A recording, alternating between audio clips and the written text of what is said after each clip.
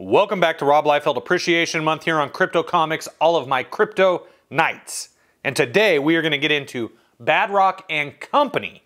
This was a six issue miniseries from Extreme Studios and Image Comics beginning in September of 1994. And it features a massive run in between Pitt and Badrock. I believe this is the first time these two mastodons ever met in the pages of an Image comic. This is drawn by Todd Nauck with inks by Dan Panosian on the cover, Larry Stucker on the interiors. It was written by Keith Giffen, who is uh, probably most famous for Lobo. At Image Comics, he was known for drawing Trencher, which we have reviewed before. I actually ripped up Trencher because I, I loathe the art. I how do I define this better? I appreciate I appreciate the art in Trencher. It just wasn't for me. It was uh, it was a feast for the eyes, and uh, and I always felt that it was just you know a guy trying too hard. But you know, in retrospect, it was a guy doing his own thing for a four issue comic book, and he definitely did do his own thing.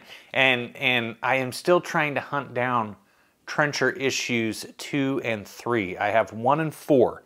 I'm having a little trouble locating two and three for a reasonable price. Uh, and I have had a request from one of you beautiful, beautiful people in Webtown to review Trencher issue two. I'm looking for it. I apologize that I haven't gotten to it yet. But enough about Trencher. This is Badrock and Company, created by Rob Liefeld, written by Keith Giffen, penciled by Todd Nauck.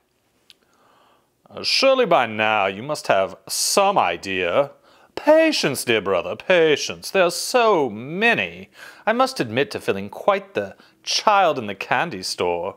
Who did you choose? Ah, ah, ah, you know the rules. Of course, my apologies. Well then, enough dithering about. The choice is made. Shall we now? Don't we always? See, it's these two twins, and they've got this wild scheme cooked up. You'll find out. And as an added bonus, I believe he might be of extraterrestrial origin. An excellent choice. You've certainly outdone yourself this time. An alien. Once again, you make my choice pale by comparison. Nonsense. A marvelous specimen. Oh, you are too kind. The standard base wager? Done. Let the gaming commence. What's going on here? Let's find out. A couple of days and one page later, you told me you were serious about learning to play racquetball. I was. I mean, I am. I uh, just don't know my own strengths all. Because, see, he's a 16 year old boy in a giant rock body. I can't believe this. You are such a jerk. Hey! See, he's been hitting the racquetball so hard that it's cracked the concrete. Come on, cut a guy a break. I wasn't trying to be a smartass. You don't have to try. Slam. Never the perfect comeback when you need it. Yo, Rock, that was one pretty steamed lady. Yeah, I'm telling you, if I didn't have bad taste in women, I'd have no taste at all. Mmm, yes. They can be quite perplexing, even at the best of times, wouldn't you agree? Huh? Oh, yeah, sure. Aren't you a little overdressed there, pal? I suppose you've got a point. Uh, Mr. Rock, if I might impose. Sorry, Ace, no pen, no paper, no autograph. No, no, no. You misunderstand me, please.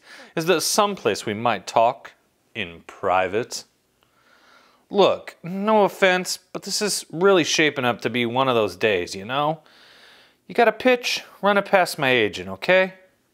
Tisk, so cavalier in attitude. And should I also notify your agent if the child dies? At Keown Middle School. Bring! Uh, Timothy, a young Timothy, a moment if you would. Hey, how did you know my name? Excellent. The proper dose of caution around strangers. Such a smart lad. Yeah, well, my grandpa says, and mindful of his elders, such a civilized young man. Um, did you want something, mister? Quite so, young Tim. I'd like you to accompany me. Do you think you can do that? Ah, the young ones. So easy. So impressionable. Meanwhile, at Bad Rock Cafe. Yo, Shelly, give me a mirror, would you? A mirror? Yeah, I want to see if I really look that stupid. Mm, then you doubt. Doubt? Come on. Monsters from outer space stalking some kid? Okay, Ace, you've had your little joke. What is it? T shirts, underoos, am I getting warm? Mr. Badrock, if it is concrete proof you require, yet another abandoned warehouse district. A little joke. You do like a good joke, do you not, young Tim? Yeah, like on bloopers and practical jokes, right? Exactly. Who are we playing it on? One Badrock of Youngblood, unless I am greatly mistaken. Bad Badrock?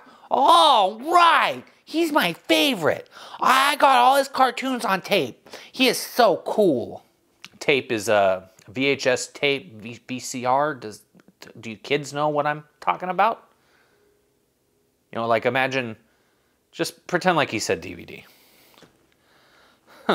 yes, now you do remember your uh, lines. Yeah, yeah.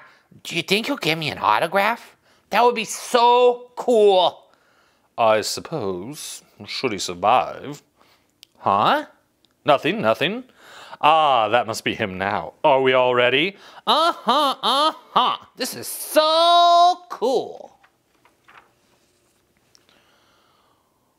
I'm warning you, if you got some kind of presentation set up in there, will you please? The child is within. My brother is watching over him. Though he'd prove scant protection should the creature hunting the child. Right, can we get this over with? Hi, uh, my name's Timmy. I'm your biggest fan. Oh, wow. I can't believe it's really you. Oh, Wait till the kids at school find out that. oh, yeah. And I'm being chased by evil monsters. Aliens? Aliens. Okay, just what the hell are you two guys trying to. Boom! Timmy! Huh? Uh oh, business is about to pick up. In the pages of Badrock and Company. Good lord, they found us. They found. Hey, relax, would you? I've read about this guy. He ain't no Tharoom. Whoa! Are you okay? Ah, jeez, Pitt. We was just pulling a little joke. Now I'll never get his autograph. If I might explain. Is there a problem? I should say so. The brute's oral hygiene is deplorable. Now that was damn rude. Here we go. There, now we're even. And here's one to remember me by. Chuck. Oh, wise guy, eh? Thrilling, wouldn't you say? Absolutely. I couldn't help but notice that you seem to be having some difficulty with Badrock. Let's be fair, he's hardly as impressionable as the child. Too true. A nudge here, a tweak there. Paranormals can be so vexing. Can't they, though? Still in all, a splendid job. I must admit to a faint flush of pride. Oh, oh my, didn't that look nasty? My boy can handle it. Care to double the bet? Done! So they're obviously pitting superheroes against each other and then betting on who's going to win. This is there's a movie called Trading Places starring uh, Eddie Murphy and Dan Aykroyd that was released in the 80s. Kind of reminds me of uh, the two brothers in that. They make a $1 bet on if a impoverished black man from the streets who they put in charge of their multi-million dollar corporation can run it successfully. One brother of course thinks he can. The other brother says there's not a chance. And that's what this kind of reminds me of. Anyway. Oh, Supreme, there he is. Hey, hey, your fly's open. Sucker! Conk. Grrr, smash. Hardball it is. Pow! Look at that action. That's fun. Bravo, bravo, a masterful display. I must concur, albeit reluctantly. Huh? You two guys. I don't know what your game is, but I. Scratch! uh, come here often? Boom, boom, boom, boom. Whatever. Retch. Just to give it a good retch. And a smack and a cack. This is crazy. What am I doing here? And why is Pitt fighting Badrock? Exquisite form! You see, I told you that paranormals would take us to a whole new level. What? I must admit it. It is infinitely more fulfilling than those two mercenaries in. What was the name of that wretched country? Angola. Angola, yes. If I recall, you took me for quite the pretty penny. As I will this time. I beg to differ. Care to put more money where your mouth is? Don't be crude. If I might change the subject, these heroes tend to be an altruistic lot. Can we be certain a death blow will be struck? Oh, ye of so little faith, as if I'd not already figured that in.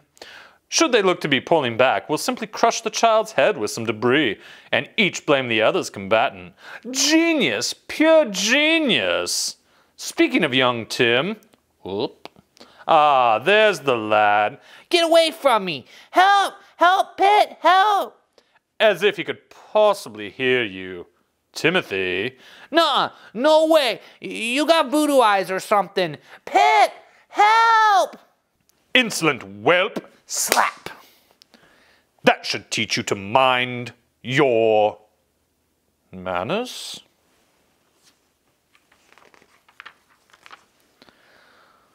Big man hitting a kid. It's like Frankenstein's monster, he just makes noises. Ah, brother dear, that hair trigger temper of yours has done it again.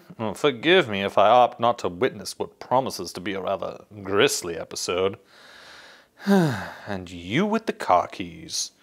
Victory, it would seem, is mine by default. I've five dollars, says a man will scream within the next ten seconds. Yeah! Keep your money, my good man. I'd never collect on a sucker bet. Now, which way was that dratted bus depot? Go down about six blocks and hang a left. Oh, Why, thank you, my good. What am I, the village idiot? Like I'd suddenly forgot there was two of you? Sides, this way there's. Don't even think it. One of you for each of us. You, you, you're going to hurt me now, aren't you? Yep. This guy kind of sounds like Booster Kiwi when he's when he's begging for mercy from from Jakob. If you're familiar with uh, independent comics on YouTube, you know Fanspeak, Chester Busby's Fanspeak, kind of reminds me of uh, Booster. He's a little coquettish kiwi bird. You're going to to hurt me now, aren't you? Yep. About 15 hours later, give or take, Technos down at Blood are having a field day with those two. Near as I can tell, they had some kind of low grade psi talent. At least I think that's what they said. You know how it is with eggheads. No words under eight syllables need apply. Aren't your people worried about getting the evil eye? Nah, they got precautions up the wazoo. Then that's settled. I'm just glad everything worked out all right. This here little scamp means the world to me. Yeah, that's one sharp kid you got there, even if he does keep some strange company. Well then, we'd best be getting on. Thank you kindly for lunch. Yeah, and thanks for the autographed t-shirt. Oh, no sweat. You take care now. Nice to see you traveling in better circles. Hardy har, you're a riot, Mavis. Speaking of which, my niece is in town for a few days and, well, she's a big fan. No problem. Hey, does she play racquetball? Oh, um, you know, on second thought. What? What is it? Hey, what'd I say? Oh, come on, Mavis. And here on the cover of the National Enquirer, co-ed trapped in racquetball hell. Badrock goes berserk. I knew what he really wanted, sobs terrified teen. Next issue, Badrock versus Fuji. Enough said. Whoa. Okay, this was fun. This was very light, very light comic. Uh, does it reside within Youngblood continuity? Sure, let's say it does. That's great. It's fun. We just have some fun with it, right? This is just for having fun with. Anyway, let's see what Rob has to say about the whole shapooper. Hiya, folks, and welcome to the first issue of the latest edition to Extreme's Corner of the Image Universe, Badrock and Company. We hope you enjoyed our first issue and invite you to stick around for the next five. As miniseries go, this one promises to be a whole barrel of fun, and things only get better from here. In the next few issues, you can expect guest appearances by practically everyone in the Image family of books, but our featured guest stars will include Stormwatch's Fuji, Freak Force's Mighty Man, and that fleet-footed velocity, courtesy of Marc Silvestri's Cyberforce. And in case you had it in your head that all it takes is a great guest star to get things rolling in this title, you'll be pleased to hear that we've also rounded up a group of top-notch writers to make sure that every one of Badrock's epic encounters is as memorable as the last. Andy Mangels, who lives here in the Portland area, Tom and Mary Bierbaum, Jim Valentino, and Robert Loren Fleming will be handling the writing chores on subsequent issues of Badrock and Company. So make sure to drop back in each and every month to check out the fruits of these talented folks' labor. Oh, and while we're on the topic of talented people, it might be a good idea to heap a ton or so of praise on the creative team responsible for this issue, namely Keith Giffen, Todd Nauck, and Larry Stucker. For those of you not in the know, Keith Giffen has been working in the crazy field of comics for some 20 years now and is the creator of Lobo, Trencher, and Ambush Bug, and was responsible for the successful retooling of DC's Justice League and Legion of Superheroes during the 80s. Keith recently finished writing Topps Comics' Mars Attacks miniseries and is currently busy plotting Freak Force for Erik Larsen. Keith's future Extreme related projects include a Dutch story, which he wrote and penciled, appearing in Youngblood Strike File number 8, and our upcoming Legend of Supreme series, which he'll be co writing with Robert Loren Fleming. Penciler Todd Nauck first came to our attention through last year's Extreme Talent Search, and since relocating to sunny California as part of Extreme Studios, he's been one of the busiest guys in our stable, knocking out six killer issues of Badrock and Company, as well as an issue of Supreme and upcoming issues of Team Youngblood and Newmen.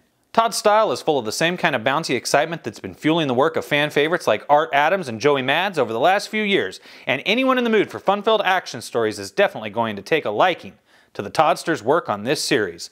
In addition to having an unusually spelled first name, Larry Stucker is making his inking debut with this issue of Badrock and Company.